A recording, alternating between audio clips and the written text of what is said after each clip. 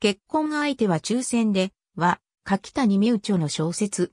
2018年10月6日から11月24日まで、東海テレビ制作により、テレビドラマ化された。少子高齢化に、歯止めがかからないことに、危機感を覚えた日本政府は、苦肉の策として、無謀とも思える策に打って出た。それが、抽選見合い結婚法。互いの結婚相手を抽選で決めるという、とんでもない法律が制定されてしまう。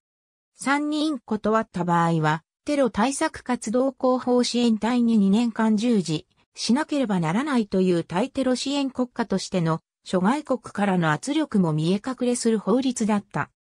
その内容となるのは、前科や離婚歴がなく、独身で子供がいない25から35歳の男女対象年齢の人物からプラスマイナス5、最前後の人物を抽選で選ぶ相手が好きになれない。場合は2度断れる3度経った場合は、テロ対策活動広報支援隊に2年間従事する。義務を負う。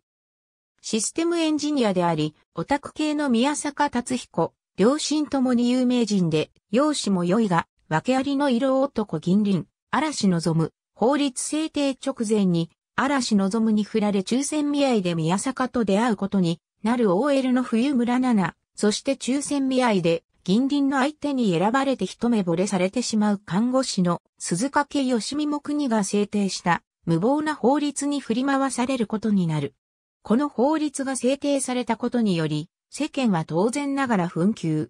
日本政府が少子高齢化に歯止めをかけるべく制定したはずの抽選見合い結婚法に人々は大いに振り回されていく。人口調整に国家が介入する、ぜひ、人口の多い日本で少子高齢社会の何が問題か、結婚とは何か、家族とは何か、恋愛とは何か、自由とは何か、一つの法律を機に繰り広げられる喜悲劇が描かれる。2018年10月6日から11月24日まで東海テレビの制作によりフジテレビ系列において大人のドドラ枠で放送された。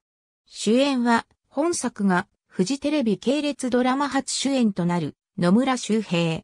原作とは異なり主要登場人物は抽選見合い結婚法に振り回されるだけではなく法律の問題点に気づきレジスタンス活動を行う姿が描かれる。